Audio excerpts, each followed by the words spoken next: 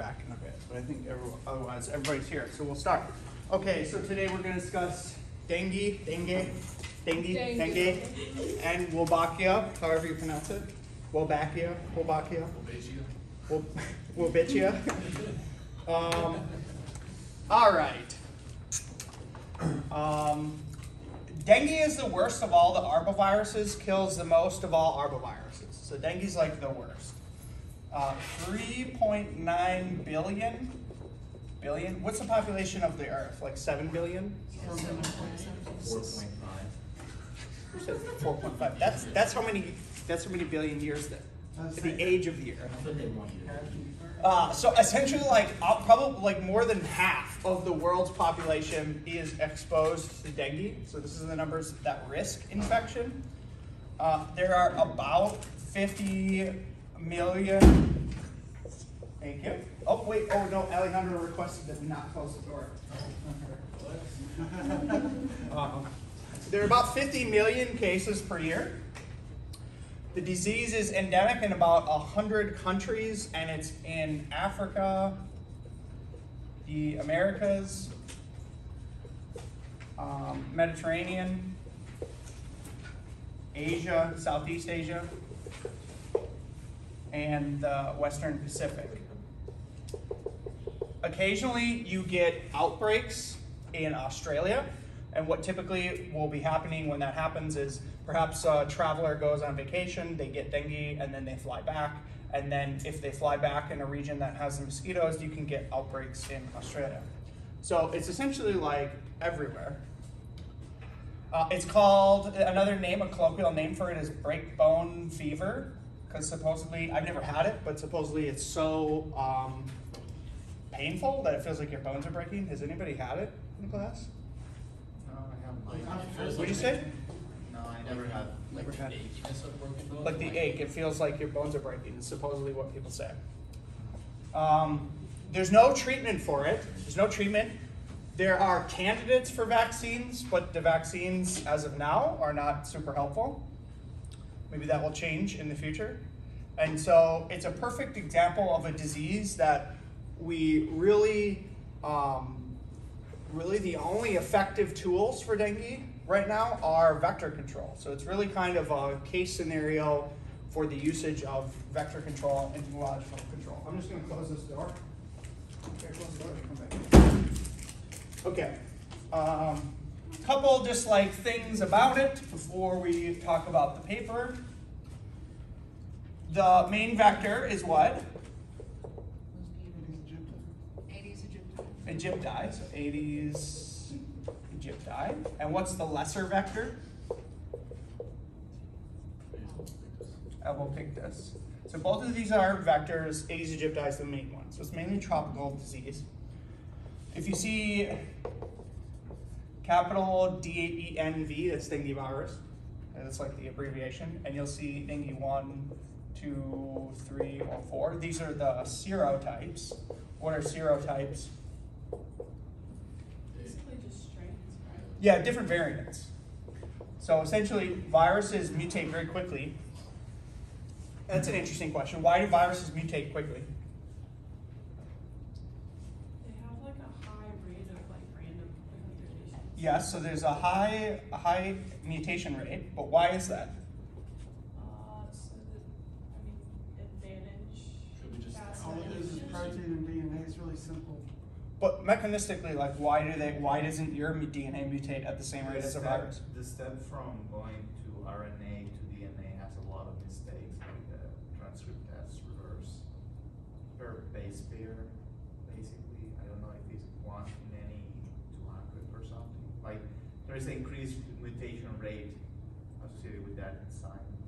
That might be that might be true, but there's there's something more fundamental. Like why do why do your why do you your DNA has an inherent error rate, but it's much lower. Why is it much oh, lower? Oh, lower? they don't have the thing that checks when they copy over. There's no proofreading. Yeah. So, so viruses typically don't have proofreading, which essentially, like as a polymerase is reading, there are some polymerases that can detect an error, and then they will essentially like backpedal, or that error will be corrected. Also, there's things like homologous recombination in your cells that repair DNA sequences. Essentially, viruses don't have a mechanism of proofreading and repairing the DNA. So when it gets copied, whatever you get is what you get, and that means it's a high error rate. But it also means it's a very high adaptation rate. And so when you see the serotypes of the different variants of dengue, um, these are they have SNPs in their genomes that make them different. So they're definitely like they're they are different in evolution, um, and that's due to this high mutation rate. I think so. You can fact check me on this. I think traditionally, the different dengue serotypes were located in different regions of the globe, but nowadays they're because of people traveling everywhere, they're essentially like all over. And I think in South America they have all the variants. They have all the variants of dengue. So you're potentially depending on where you are, you could get all four or one or two or three or four. And we'll talk about the complications of that. Are you saying you think maybe they evolved separately throughout or across the world and then Yes. now they're all together? That's what I think. That's what I think. But you'd have to fact check me on that to be sure. But my um, my assumption and my knowledge tells me that these originally were in different geographical locations and then have spread and become mixed. Um, through travel. Okay. Um, the location is, is typically, again, typically in the tropics, hot weather that overlaps with Aedes aegypti. Um, and the extrinsic incubation period is about 8 to 12 days. So those are just some sort of like facts. What type of virus is deng- dengue? So we went, the last two lectures were types of viruses. What type of? virus, flavivirus? Yes, it's a flavivirus. Flavivirus. It's an RNA virus. What type? What type of? What's the genome? What type of RNA? Single strand? Single-stranded RNA plus or minus? I think it's plus. Plus. That's correct. So it's a single-stranded RNA plus virus. So that's important for the classification. It encodes a polyprotein. We all remember what a polyprotein is. Yes. Okay. And it is enveloped. So these are the things you would want to remember about flaviviruses, and dengue fits within the flaviviruses. Okay, more stuff. More stuff about dengue. It is called a. I'm always, I always spell this wrong. It's hard to spell. Hemorrhagic, hemorrhagic fever. What does what does that mean? What does that make you think of? Well, uh, blood, has the blood like, The blood counts. blood bursts? When you say blood, so It's blood cells. Well, hemorrhaging is what? Hemorrhage. It's like bleeding, right? It's like internal bleeding. I Dr. Beckmann, like hemorrhagic fever or like the dengue people now they're calling just like severe dengue, dengue and the dengue like They severe. trying to not use Not using that? like the hemorrhagic syndrome or hemorrhagic dengue. Shock syndrome? dengue, shock syndrome. I've heard DSS, yeah. Yeah, they, they are trying to avoid saying that. They would rather say severe. severe dengue. What's the reason? What's the rationale behind that? I mean, my my PI say that not all the severe cases show like the That symptom. constellation of symptoms that are characterized by the hemorrhagic, I but see. still the patients are considered like severe dengue infections. Okay, so we will talk about severe dengue or DSS in the second. The so the term hemorrhagic fever. So as was suggested, not all people who get dengue experience all these different things, and most of the severe symptoms of dengue happen when you have already been infected once and you get infected again, the different serotype. So there's sort of like gradations of dengue, and if you get dengue just for the first time and it's just one um, serotype, you're probably not you're probably not going to be that badly hurt from it. You'll probably just get over it. It'll be a horrible experience for maybe like two weeks. Um, but there are other forms of dengue which get much worse. So hemorrhagic fevers in general. So let me uh, to discuss that. What happens when you get dengue in some cases is um, it will uh, infect the endothelial lining of your of your circulatory system, and eventually, and essentially, like you just leak out into your body, and it will like disintegrate your organs. So one of my one of my advisors used to used to say that like um, they essentially like your organs will kind of like dissolve if you get if you get some of these. So it's a nasty it's a nasty disease. Um, you die from if you die from dengue, you die often from multi-organ failure. Let's see. Okay, so other things about it. If you get it, and you get if you just get one strain of it and you get over it, typically you are immune to that one particular strain. Okay, but the problem is getting a second infection with the second strain. So the the term that we uh, that was brought up, severe dengue, or if they're trying to not use that or not use other terms anymore, before this was referred to as dengue shock syndrome, DSS, dengue shock syndrome. And maybe that's a term that we should not use anymore. Instead, maybe I guess severe dengue. What happens in this case is, say you've gotten dengue once and you've been infected with one serotype, and then you're in a spot where there are multiple serotypes. Okay. So what happens in your body is after you get infected with one, what's going to walk me through like what happens to your immune system. So you have a virus infection. What happens in your immune system? Uh, it'll break down the virus and then use that to create antibodies. Yes. So antibodies will get made. And what cells display the antibodies? Uh, B cells, or is it something else? Well, don't go that much into immunology. Like in general, what types of cells?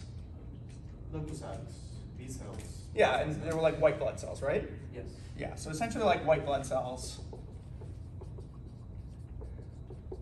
My point is essentially like not your liver cells, not your brain cells. Like there's white blood cells that are responsible, that have antibodies that go and attack foreign bodies. And there's different types of immunity cells, but in general, like immunity cells.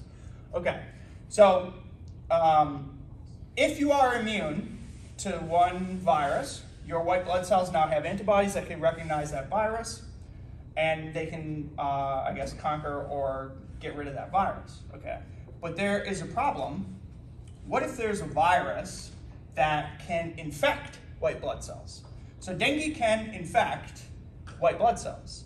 And so if you get infected with a second strain, so let's say infection, let's say this first one you get infected with dengue 1. And then second time you get infection with dengue virus 2. Okay. There's a phenomenon where antibodies, it's called cross reacting. What's cross reacting? Probably it's like, it's almost like non-specific, so It- interact with multiple different serotypes. It can be non-specific, yeah, it can be non-specific, although in this case it's not quote unquote non-specific.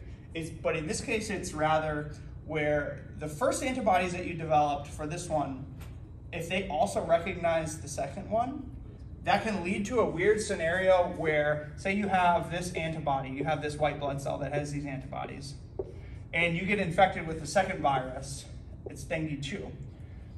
You, you might not be immune to dengue 2, you might only be immune to dengue 1. But because of this interaction, this crossover interaction, because the viruses are very similar, but in this case, now it's a horrible scenario because the second serotype, dengue 2, can now more easily find your white blood cells and then it binds them and gets absorbed or endocytosis, and then the virus cycle happens inside your white blood cells.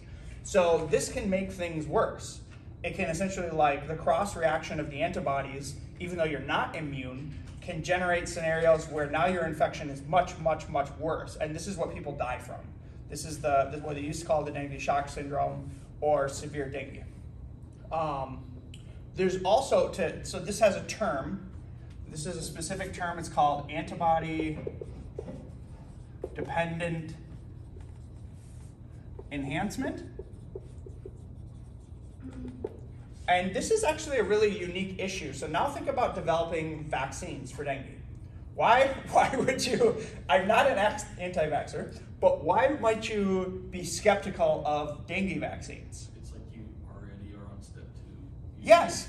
Yeah, it might be a terrible idea to get a dengue vaccine if you live in a place where there's multiple serotypes. Because depending on what vaccine you get, um, you might be vaccinated against one serotype, and that might already bring you, as you said, to step two. And then as soon as you get dengue, you might create it worse. Further, furthermore, there's situations where if you, these are all, the flavies are all sort of like related.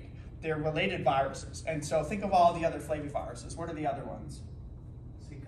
Zika, West Nile virus. Yep, West Nile virus, and then yellow fever. These ones do have vaccines, and there's also some studies where um, if you get, say, a vaccine for a vaccine that's being developed for one of these, you might create a situation where then down the line, if you get dengue, you might go straight into dengue shock syndrome because not only because you perhaps not have had a vaccine for dengue, but you might have had a vaccine for something else. So developing vaccines for this is kind of, um, I would say, difficult certainly because you have to worry about this whole situation. Um, and there are lots of reports of this phenomenon happening. So that's that's sort of like one of the most unique things and uh, scary things about dengue. So on our side, that's not a good thing, but at least that presents an opportunity where maybe the best way to control dengue then is with control of the vector, as opposed to developing a vaccine. What kind of mortality are we looking at with, with With dengue shock syndrome, Well, no, well, not with just dengue shock syndrome, but with like initial infection. with an initial infection, I think the mortality is very low. It's I don't I don't know for sure, but it's it, it's going to be like a low number. Like it's it's not high. You're unlikely to die from dengue in a first infection, unless maybe you're like immunocompromised or like a baby or Sure. something. Um, yeah, I should I should get an actual mortality number. Okay, so that's the, sort of the gist of dengue. Let's bring in now the Wolbachia paper. So Wolbachia, as we have discussed, this will probably be the last Wolbachia paper, but it fits well and helps us transition to dengue and flaviviruses. Um, Wolbachia is known to inhibit uh, single-stranded RNA viruses. That's a V. Of which dengue is one. Okay. So the title of this paper was, let's see here, uh, the wMel Wolbachia strain blocks dengue and invades caged Aedes aegypti populations. So this is from Hoffmann and O'Neill, uh, who are big Wolbachia groups. This was sort of like one of the first big nature papers on the, the fact that this Wolbachia thing was actually potentially going to work. And it was sort of like setting up some caged field trials to test the initial Wolbachia systems for the ability to block dengue virus. Okay, so there's a couple things I want to talk about in the um, introduction. So, the what's the idea? Walk me through the idea. This vector control, or not vector? Actually, this is not vector control. How is this not vector control? Because you're not uh, changing the actual vector, you're changing something within it. Well, you're not killing the actual vector. You're sort of like replacing it. So it's so it's population replacement. And what's the idea? What- What's going to happen? How are they going to set this up? For people, this was the e- this was the easy short paper. So how, what was, what's the basic idea? You give a lot of male mosquitoes Wolbachia, release them to the population so they breed. So wait, let's talk about that first point. You said give a lot of male mosquitoes Wolbachia. Are they Are you releasing males? They're releasing females.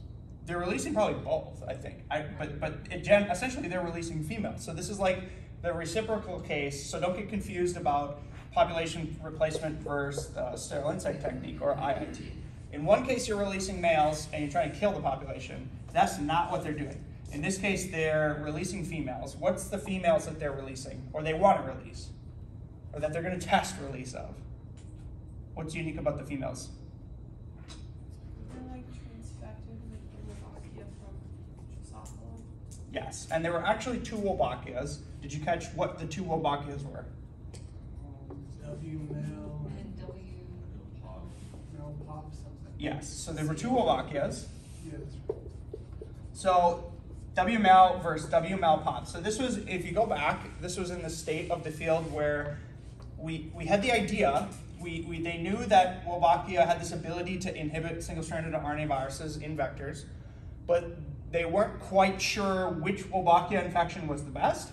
And there was also sort of this competing idea. Um, I can't remember how much I talked about this, but I do believe I talked about in early Wolbachia lectures. In the earlier days, they were really interested in this particular infection, wMelPop. Does anybody know why?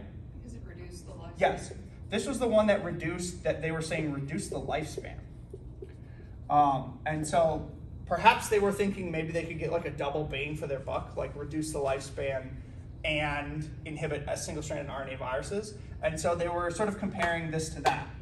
What's the catch of this reduced lifespan? Did anybody catch like the problem? Essentially like again like there's a there's a reason they're testing this versus that. And there's a theoretical problem that this one has that this one might not have. It reduces fecundity. yes like if it's reducing lifespan that's going to reduce the fitness. And that's a big no-no if you are trying to replace the population. That's a hard thing to overcome. Okay. So if you read their introduction closely they say something like quote success of the implement- implementation depends on two things. Let me let me actually just erase this. So they say success depends on two things. Did anybody catch what they are? So the second one was already said. The fitness cost of Wolbachia. What was this, the other thing? Was it egg hatch rate? Egg hatch rate? No.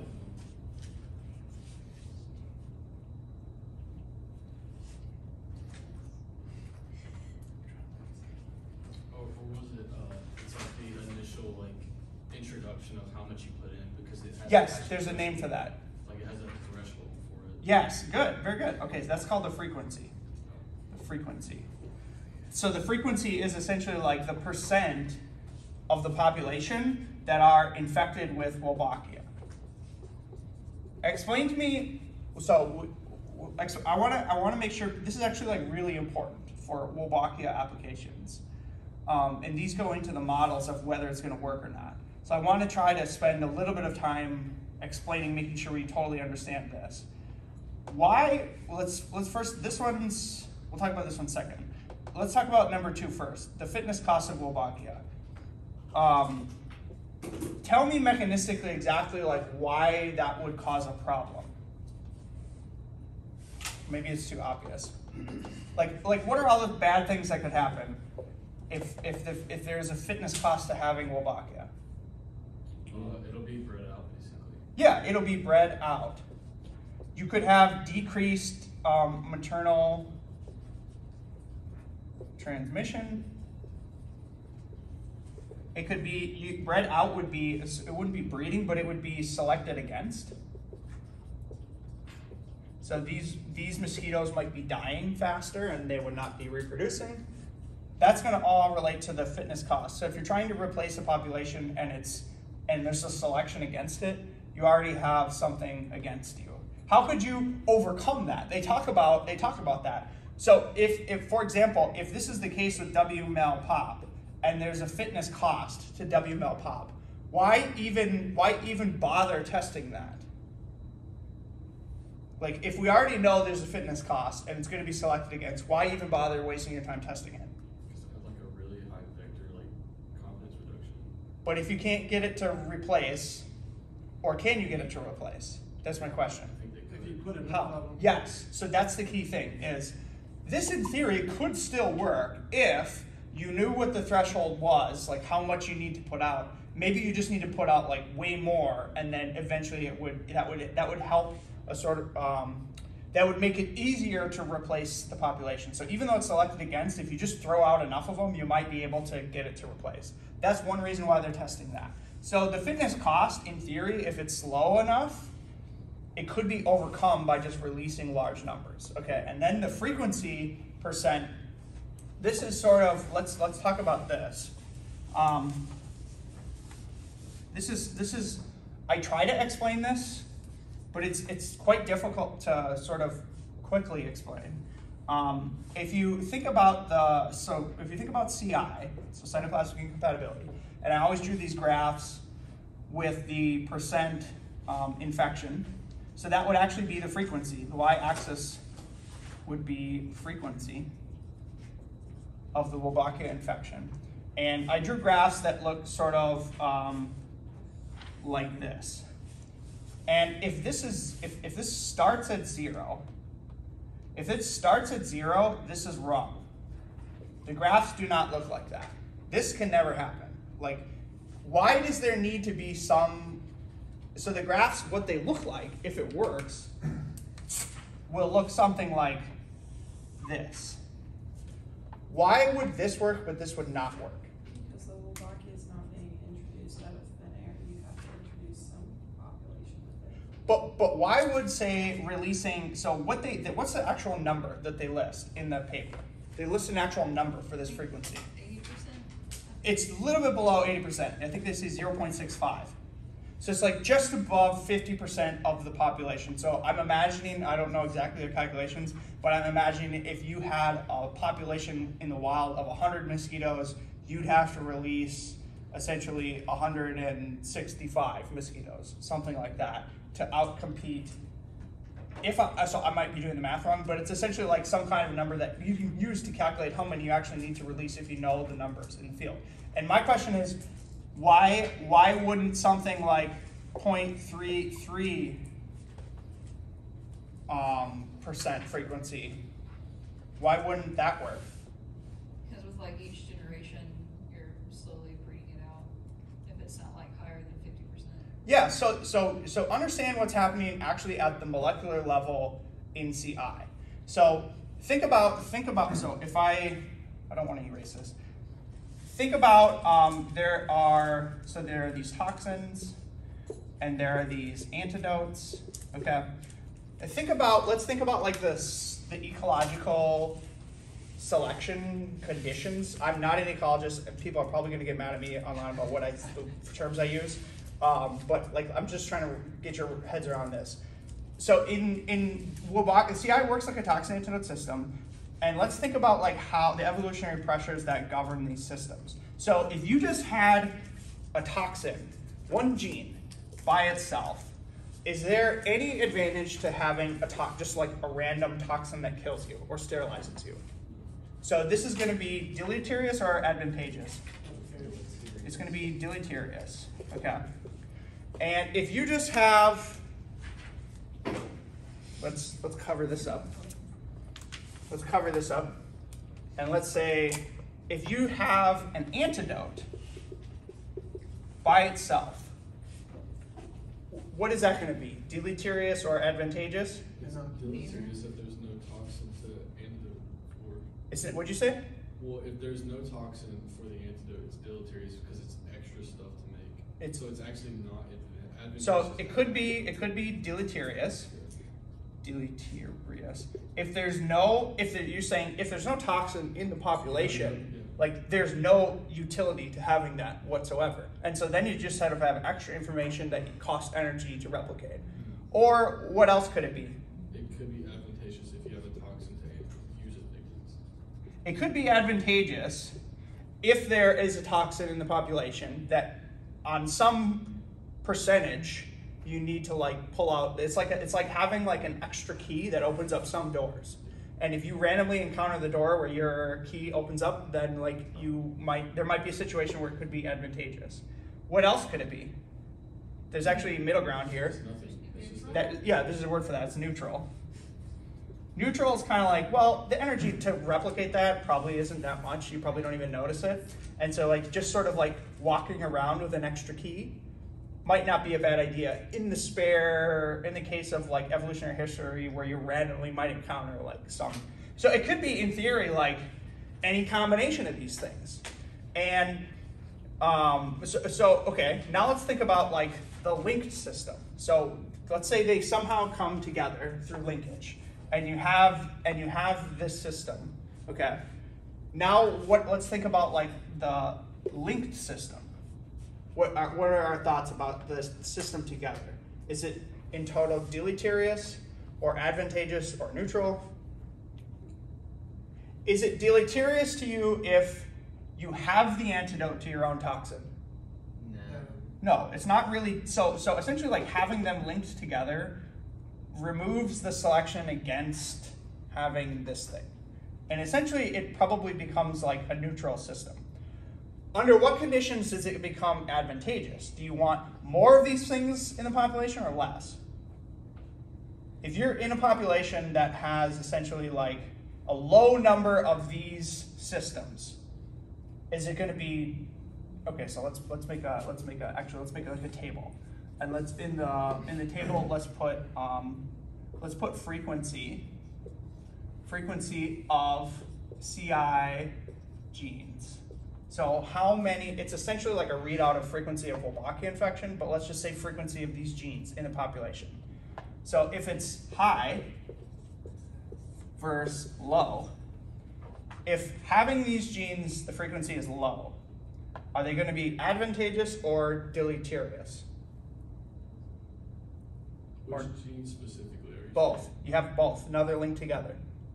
It's low, it's deleterious to have because your interaction is gonna be low with others, with other individuals. Yeah, it's probably going to be deleterious or low because the odds of you encountering the door that's locked is very low if the frequency is low. If the frequency is high or above some threshold, then what does it become? It becomes advantageous. So, advantageous. So again, like I'll probably get ripped to shreds by like ecologists, but this is essentially like the idea in the best words that I can explain it. And whatever this threshold number is, is the crossover number of the frequency at which it then like sort of becomes useful to have this system. Does that make sense? And there's mathematical models and calculations where people calculate it's exactly 0.65, like, and there's those theoretical models like have a bunch of like determinants and fitness things that go into that. Okay, so that's that's the essentially like the general idea. We all understand that? I have a question. Yes. So how does it initially start in a population? That's a good that's a good question, and people are trying to figure that out. Like, yeah, that's sort of like a chicken egg paradox of how does Wolbachia establish itself um, in a population if it's below the threshold in natural context? There's actually some easy answers to that. Like, that's actually worth discussing. That's what um, Michael Torelli studies. So, what what do you think? How how might you how might you lower this this threshold? Or even there's Wolbachia that can there's Wolbachia that can spread even though they don't have CI factors. Explain that to me. That's actually kind of easy to understand. How would a Wolbachia infection spread without the CI factors? They give you something like really good. It's a symbiosis. Yeah, so there's there's other Wolbachia that they don't just have this. They might be giving you something else. And having the Wolbachia then gives you a fitness advantage. So by sort of like isolating the system and only thinking about CI, you're throwing out other parts of the equation that are potentially like if it's improving fitness by giving you something maybe like B vitamins, then it's gonna be much easier to spread and maybe you don't even need the CI system. And the threshold could be lowered if the fitness cost of the Wolbachia was very low, and it, it could even be lowered even more if the Wolbachia was somehow like advantageous to the mosquito. Does that make sense? So that's another reason why you might want to explore. So this paper is sort of like one of the first papers exploring a few different Wolbachia infections, WML or WML pop. Another reason why you might want to explore a bunch of the plethora of different Wolbachias is because maybe they would be easier to release because maybe they have some other advantages that they would be conveying to the fitness of the organism, and that would maybe lower the cost or the threshold frequency. Okay, good. So that's sort of like uh, my best attempt to explain like nuts and bolts of Wolbachia CI releases. Okay, so step one. Let's walk through the paper now. How much time do we have left? Twenty-five. Good. Okay. So Step step. sixteen, my bad. 16. That's okay. We're in- still in a good spot. Really Okay. So step one. It's so complicated. Yeah, you seem these. You're. You seem like you're trying to hurt my feelings. No. okay. Step one. Uh, what's the step one? I think I think Claire already said it. I'm just sort of like enumerating the steps of the paper. You have to insert the Wolbachia into. Is it called insert? No, it's. So, oh no, Rachel said it. Transfect. Um, I've heard different words for it. What do they use? Yeah, they said they said trans infection.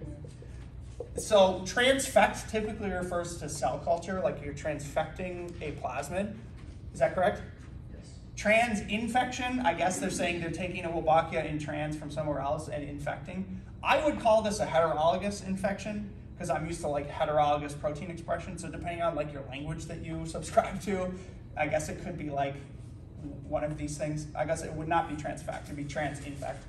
Anyway, create a trans infection. So where's their Wolbachia come from? We already talked about it's the WML or the WML pop. Those come from Drosophila melanogaster. So they're going to do microinjections into Aedes aegypti eggs. Actually, how do they do this? There's actually some unique steps that they, if you read the paper closely, um, that they did. Did anybody catch them?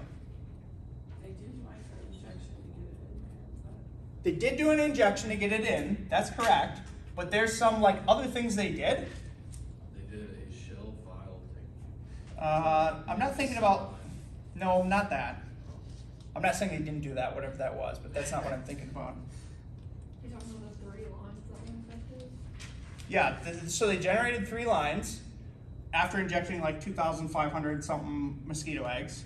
But where did the so the Wolbachia did they come from Drosophila? Did anybody catch this? So yes, the evolutionary origins of WML and WML pop are from Drosophila melanogaster, but did the Wolbachia actually come from Drosophila melanogaster? No, it said it was reared in a mosquito cell line for like two years. Yes. So so that's an interesting tidbit that if you didn't read, there are, and I don't actually don't know how to interpret this. There's multiple labs who have done trans infections of Wolbachia, and in some cases you do what's called cytoplasmic transfer, where you take egg A and you just inject or you you pull some cytoplasm and then you just directly stab it into B, and sometimes that is totally sufficient to form a trans infection. In this case, that was not working. So what they did is they reared these Wolbachia in mosquito cell cultures for two years, is what they say. So for two years, they cultured mosquito cells and infected them with Wolbachia from Drosophila to try to like adapt them to mosquitoes. And then they were taking those like adapted Wolbachias and they were injecting those into the mosquito. So I don't quite know how to interpret it in a sense of I've seen people just get it right away, and I've seen these group reporting that it took two years. So I don't know how to interpret it, but that's what they did. Um, okay, so then once they got it, so step one is transfection, transinfection, not to be confused with transfection. Step two, what was step two? So you're trying to think of think about your in there scenario. You're trying to do trans infections. What's your next step in the pipeline? Well, they said that they achieved like a hundred percent infection. in the city. They like, How would they know that? You'd have to do some kind of uh, fish thing to see it, right? Yeah, so so so how would you so they did do fish. We'll talk about that. What are they actually doing by doing fish? What are they It's like dying the Wolbachia to check what? to see where it is. To see it. Yeah, so they want to confirm they want to confirm infection.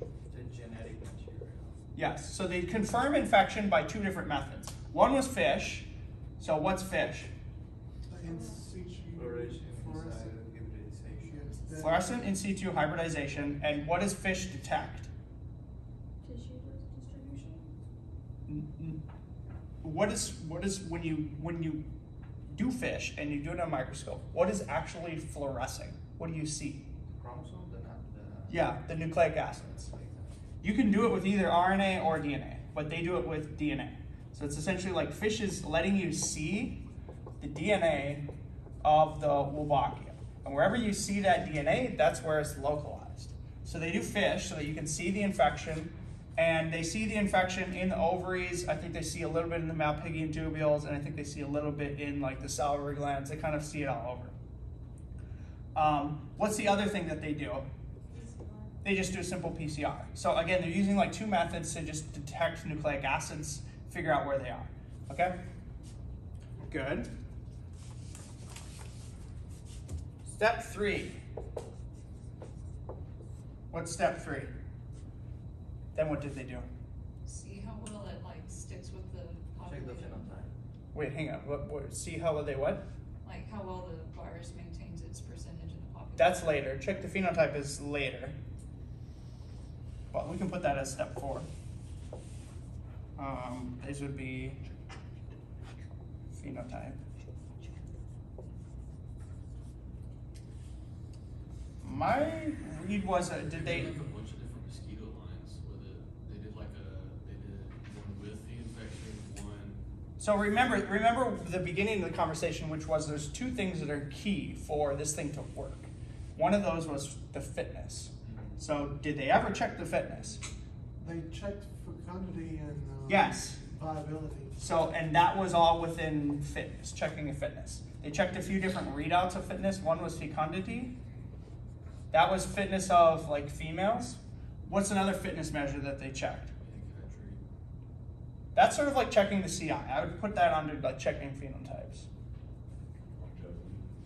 They also checked. I thought they, I, did they check longevity? They checked larval development time. That's what I got, larval development time. Did they also check lon- longevity? Yeah. Okay, so they're checking like a few different measurements, I guess proxies of fitness, although like the precise definition of what fitness is is always debated.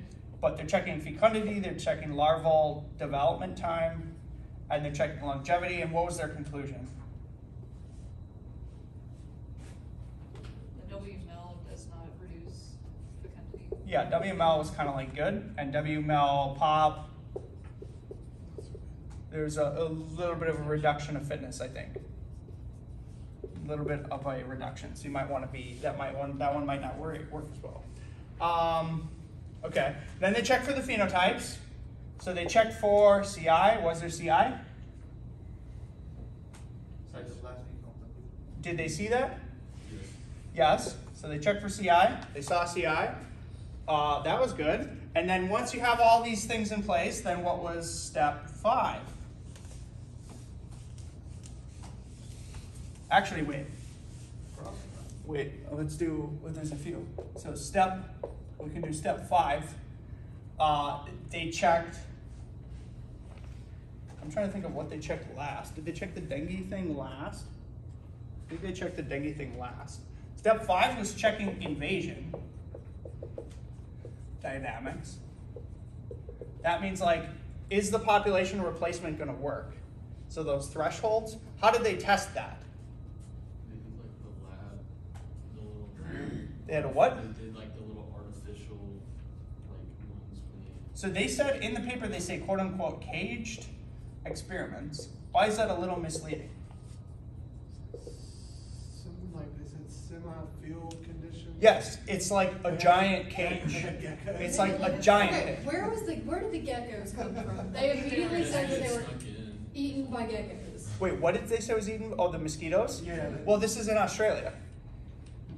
It was like So the geckos just showed up and they're like, oh. Well, they probably okay. So again, so think about think about what caged is. So in this case, caged has like a weird meaning. Like I think they actually built like giant like pole sheds, Uh, and they're like they're like doing like they're building they're reconstructing like artificial habitats in the pole shed that mirror. I don't know if they're pole sheds, but you get the point. Like that mirror um, the natural like ecology of Queensland, Australia. They're like trying to reconstruct that in these giant cages. So they actually have to imagine this. They actually have to get enough money to build an entire like facility to do this particular experiment. Like that shows you how much sort of like infrastructure is required to do an experiment like this. Okay? And they do these cage experiments. Dr. Beckman, could you do an experiment like this in your mosquito knitting lab, since it's like a sealed off structure? Could probably do it even in our. Well, like could I build my own ecological system in there? No. Technically, yeah, it's sealed off. Well, I would not. I wouldn't. Like you'd need permission to do that, and you would need. I'm sure they needed to demonstrate that like there was some containment. Although if they were getting geckos in there, like I don't know, uh, I don't know. But you get the point. Like they built these things. They built these giant cages to do these releases, and then they produce these graphs. This is, I think, the second figure, where they're essentially like they have this threshold that's about like 0.65, so they're releasing enough mosquitoes to get the initial frequency of the population at 0.65% infected with Wolbachia. And they essentially have these graphs that look like this, okay? So they measure the frequency, and if you look at their graphs, there's like four different, um, there's like four different points. So they essentially have two cages, so they have two replicates, two independent replicates, and so there's essentially like two graphs that look like that, and then there's a different color that look like this. What are the different colored things? One of them is a model.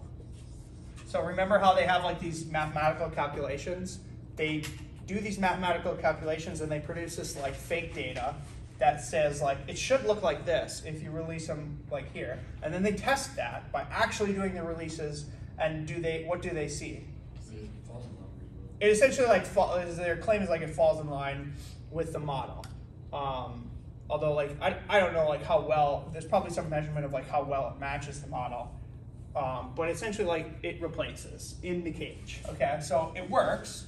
They replace in the cage, and then step six, what's the final thing? To introduce the flavivirus. No, that's like down the road.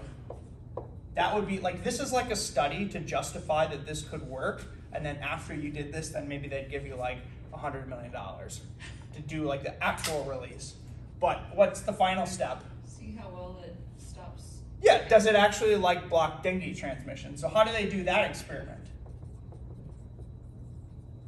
They test infected and uninfected. So there's a plus minus comparison. Um, the net, the minus is going to be like the negative control. That's the last figure. And then the, there's two pluses. There's a W. Actually, I'll just do it how they do it. So they produce graphs that look like this, where there's a W. Actually, it's the negative control is uninfected, and then there's a W mel, and then there's a W mel pop. But how do you actually do this experiment? So what's going to be on the y-axis? It's the copies per mosquito. So the- Copy of what? The, uh. And is it so in this one? In one, it's per mosquito. In one, it's per mosquito. That's A, I think. And they do a tandem graph B, which is the same graph except it's what? Legs, Copies per legs. Why would you do that? to see where it localizes. Is that what do they care? Do they care about viruses that go into the legs? No. What is that actually a measurement of? Why do the legs? Is it to see how well it infects the whole body? Yeah, why is that important? Just because like the dinghy could localize somewhere where the Wolbachia isn't, maybe? No, but you're on track. Like you're right. It is to check to see if it goes out into the whole body. Why is that important? To reach the salivary gland. Yes, like dengue has to go through the whole process of the extrinsic incubation period where it has to bust out of the midgut, get into the hemolymph, get into the salivary glands. And so measuring it in the legs is kind of like a proxy for is it disseminated? I think they actually use like dissemination Was of the virus. easier than measuring Salivary the glands? salivary glands? yeah, you used to do salivary glands, you'd have to dissect. It's an interesting uh, question, like why didn't they do just salivary glands? That's an interesting question because it's in the top tier journal, so maybe they should have done salivary glands. Although my suspicion is like maybe somebody elsewhere did a study like legs is equivalent to salivary glands, like it's good enough. Non-entomologist, how does it, it gets to the legs through the hemolymph? Yeah, hemolymph is a circulatory system that goes throughout the whole body of the insect. Gotcha. Yeah. So it's going to be a readout of like dissemination. That's why they would do that. Okay. But also, this is really interesting. Like, think about how you do this experiment. So now talk to me if you understand that this is what the figure is going to look like. And obviously, like you've seen their data, they produce data that looks like this, where there's high copy number when it's not infected, and this is essentially like either low or zero. It's the same, and it looks the same for the other thing. So it's essentially like with Wolbachia, it's blocking. But how do you actually do the experiment? So, so the readout is probably going to be qPCR. Q, it's going to be QRT PCR, probably if it's an RNA virus. Yes, but but even before that, like your QP, like walk me through the pipeline of what you have to do to do this experiment. They feed the mosquitoes like a, They feed the mosquitoes what? So you have these cultures of mosquitoes, these three strains. What did they feed them? Membrane blood. So they membrane feed them blood from where?